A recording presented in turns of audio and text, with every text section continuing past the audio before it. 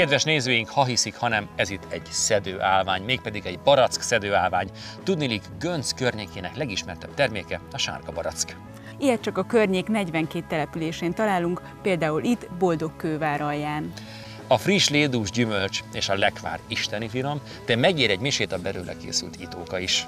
Annyira szerencsések vagyunk, hogy első kézből kóstolhatjuk meg ezeket a gyümölcsöket. Már alig várom, hogy megkóstoljam a gönci barackot. Hmm, Savanyú. ez még érhetlen. Várjunk egy kicsit a szürettel.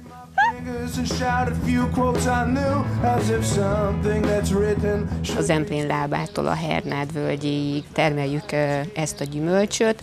A gönci barack az maga egy fajta is, illetve egy gyűjtőnév is. Tehát itt valamikor az 1960-as években indult el a göncinek a nagy volumenben történő termesztése, és itt Göncön volt egy faiskola, ahol a helyi viszonyoknak megfelelően kikísérletezték azokat az alanyokat, ami bírja ezt a klimatikai sajátosságot, ami itt van nekünk. Az eredetvédett kategóriába még több mint 10 faj tartozik. Egy bonyolultabb gyümölcs, nem, nem egy szimpla, tehát a sav, az aroma, a cukorarány az nagyon harmonikusan alakul ki, különösen, hogyha szerencsénk van és a, az idő is mellettünk van, és a napsütéses órák száma meg a csapadék mennyisége úgy alakul, hogy, hogy ezt a folyamatot támogassa.